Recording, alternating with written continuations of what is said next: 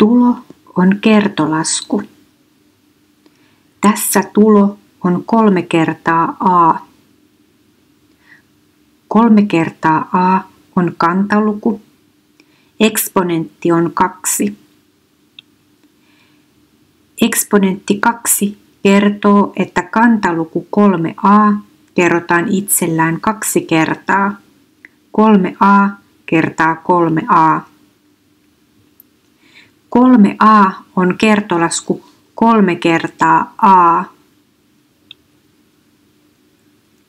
Nyt meillä on kolme kertaa a kertaa kolme kertaa a. Me voimme kertolaskussa vaihtaa tulontekijöiden järjestystä.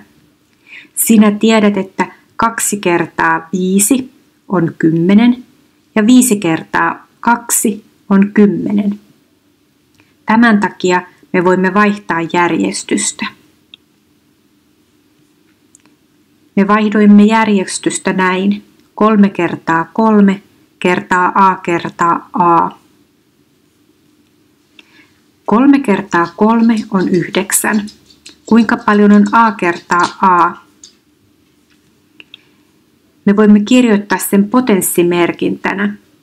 Kantaluku on a ja eksponentti on kaksi. Luvun ja kirjaimen väliin ei kirjoiteta kertomerkkiä.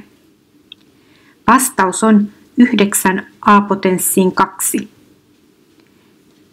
Me saamme oikean vastauksen, kun jokainen tulontekijä korotetaan annettuun potenssiin, eli 3 a-potenssiin 2 on yhtä kuin 3 potenssiin 2 kertaa a-potenssiin 2. Me laskemme toisen esimerkin.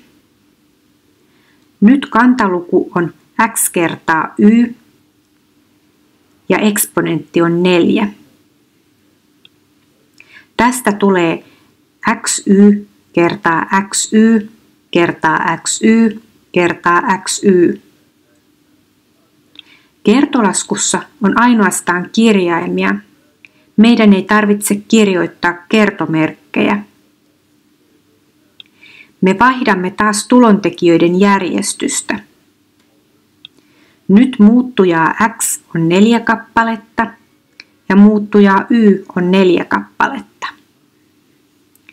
Me kirjoitamme kertolaskut potenssimerkintänä. Toisen tulontekijän kantaluku on x ja eksponentti on 4. Toisen tulontekijän kantaluku on y ja eksponentti on 4. Vastauksessa jokainen tulontekijä on korotettu annettuun potenssiin.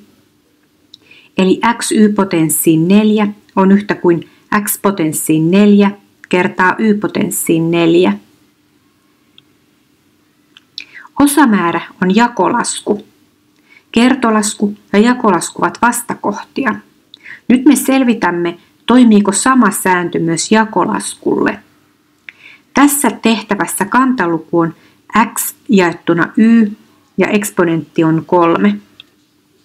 Kantaluku kerrotaan itsellään kolme kertaa. x jaettuna y kertaa x jaettuna y kertaa x jaettuna y. Muistatko murtolukujen kertolaskun vielä? Siinä osoittajat kerrotaan keskenään ja nimittäjät kerrotaan keskenään. Me teemme tässä niin.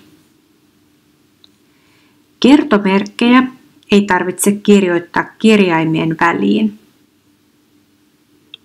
Nyt osoittajassa on x kertaa x kertaa x, eli kolme kappaletta muuttujaa x. Nimittäjässä on y kertaa y kertaa y, eli kolme kappaletta muuttujaa y. Sitten me kirjoitamme kertolaskut potenssimerkintänä. X-potenssiin 3 jaettuna y-potenssiin 3. Vastauksessa osoittaja ja nimittäjä on korotettu annettuun potenssiin. Me kertaamme vielä säännöt. Tulon potenssissa jokainen tulontekijä korotetaan annettuun potenssiin. AB potenssiin M on yhtä kuin A potenssiin M kertaa b potenssiin m. Osamäärän potenssissa osoittaja ja nimittäjä korotetaan annettuun potenssiin. A jaettuna B potenssiin M on yhtä kuin A potenssiin M jaettuna B potenssiin M. Me laskemme vielä yhden vähän vaikeamman esimerkin. Nyt suluissa on 3e jaettuna f potenssiin 4. Me käytämme ensin osamäärän potenssin sääntöä. Osoittaja ja nimittäjä korotetaan annettuun potenssiin. Annettu potenssi on 4. Osoittajaan tulee suluissa 3e potenssiin 4 ja nimittäjään tulee f potenssiin 4. Sitten me käytämme tulon potenssin sääntöä. Jokainen tulontekijä korotetaan annettuun potenssiin. Annettu potenssi on 4. Osoittajan tulee 3 potenssiin 4 kertaa e-potenssiin 4. Nimittäjään tulee f-potenssiin 4. Me osaamme laskea, kuinka paljon on 3 potenssiin 4. 3 potenssiin 4 on 81. Laskun vastaus on 81 e-potenssiin 4 jaettuna f-potenssiin 4. Tehtävä on valmis.